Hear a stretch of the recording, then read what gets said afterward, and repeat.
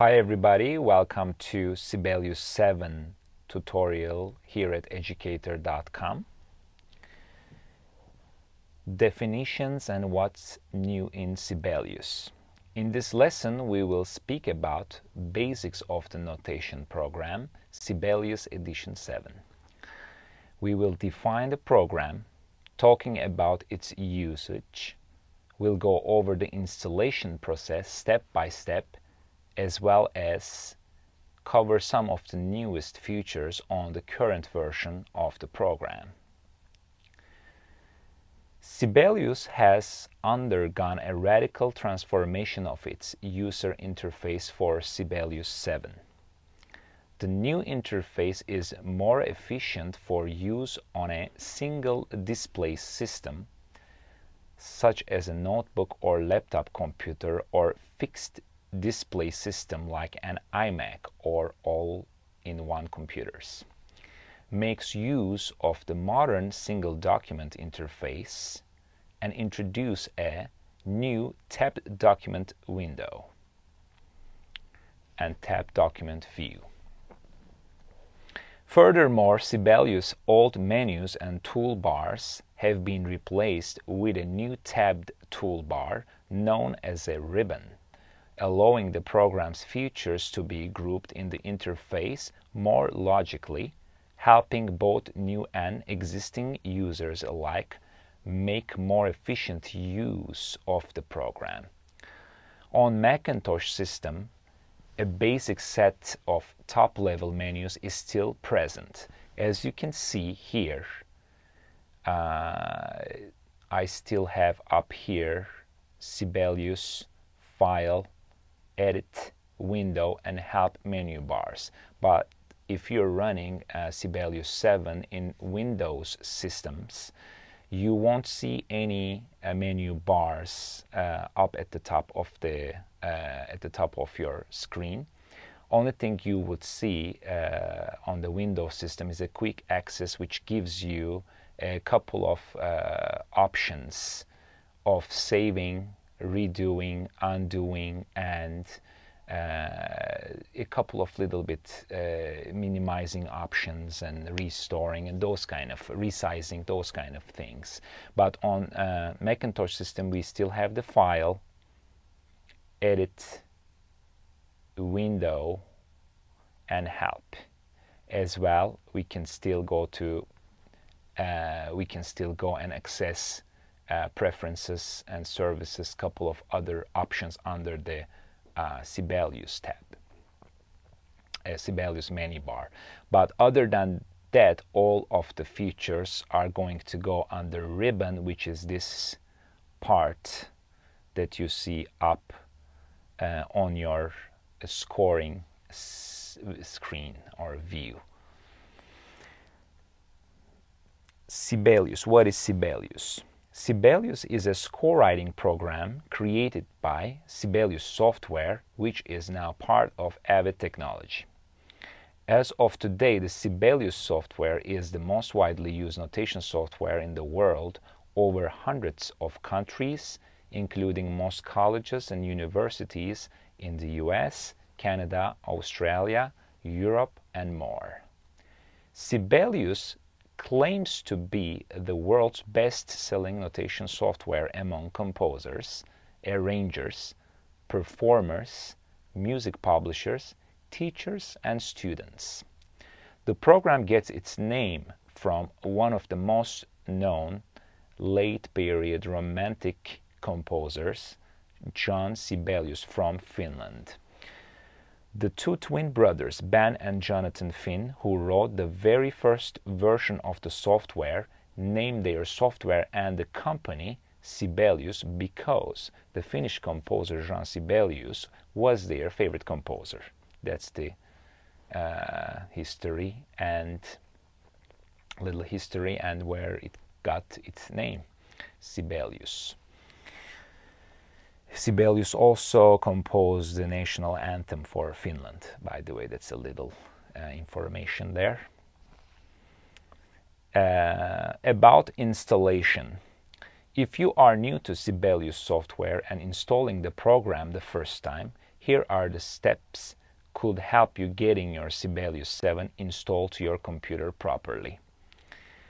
First, you should insert Sibelius 7 installer CD and choose the preferred language under Install Disk menu. After selecting the language, you need to choose Install Sibelius 7 at the top of the menu choices to start your installation. You can simply follow the directions to complete installing the program. When the installation completed, you need to also install Sibelius 7 sounds. Sibelius 7 sounds come with total of three content disks in addition to your Sibelius 7 installer disks in its package. You can click on Install Sibelius 7 Sounds and insert the very first content disk and then follow instructions along and insert and insert the second and finally the third CD to complete all the installation when instructed. This may take some time to complete as Sibelius 7 comes with large library of sounds. That's definitely one huge upgrade also. The sounds uh, really, really good on Sibelius 7 if you're writing an orchestral score and if you wanted to play back uh, what you're working on, what you're writing on, it gives you uh, really realistic type of sounds that you could expect from a notation uh, software. It's really good. And the last thing that we can talk about is uh, that you also need to install all the other adds-on features such as Photo Score Lite, Audio Score Lite, and Scorch from uh, your installer disk. These are once you ins insert once you insert your installer CD, uh, you will see these options basically. Photo score lite audio score lite and uh, scorch. They are all in your installer disk. What's new in sibelius 7 sibelius 7 first of all features a brand new task oriented user interface. The ribbon which we'll be talking about a lot up here holds the menu tabs instead of the drop down menu buttons. As you see, most of the uh, editing that we writing and editing our scores, we need to go up in the ribbon.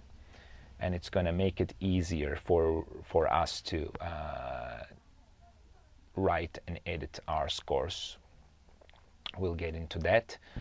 There's a new sound library, as we just spoke, features amazing sounds, very close to the real sounds, which is making a big deal actually, listening back our scores. Sibelius 7 now has a very powerful text features. All the text uh, features have been uh, improved a lot. Then uh, there's full music XML import and export supports. It's one improvement also uh, Sibelius 7 uh, features of have features of music scanning software by Photoscore Lite and input music via microphone through Audio Score Lite. So these two um, features come with the uh, Sibelius 7 software. Basically, um, Photoscore Lite will let you scan scores and be able to continue working on Sibelius and the audio score lite will give you an option of recording audio uh, and directly be able to notate from there. You can use microphones built-in mics. So it's it's pretty it's pretty cool feature we're going to talk about since there's a huge change with the uh, menus and toolbar toolbar and menu I call this section all the toolbar menu buttons in Sibelius 7 as we mentioned up in the ribbon.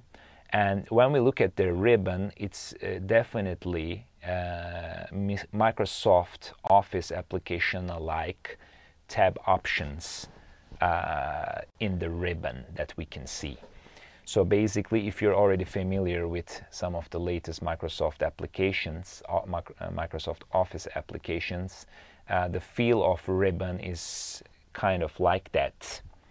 Uh, and it makes it easier as the notation sometimes gets complicated with especially the people working with the deadlines or arrangers so that may be very helpful to uh, to be able to access. So in the ribbon, every feature of the program has been organized in 10 tabs plus a special final tab. That's what we see here. Up in the ribbon we have file and 10 more. We can go and choose by clicking on those just like we could choose a drop-down uh, menu uh, menu bars. Now we have the tabs up here. And those tabs organize under certain groups and additional options and additional tabs under under this new look. We're gonna just go and click on the file to talk about the file tab a little bit here. That's the only one uh, basically uh, is colored differently. It's a purple color. And one other thing is we can select uh, by just clicking on if you have a uh, scrolling ring in your mouse I use one of those you can also go one by one by just like turning it right or left so this is another way to go to the uh, right or left and choose your uh, tabs basically here. If we go to this file tab,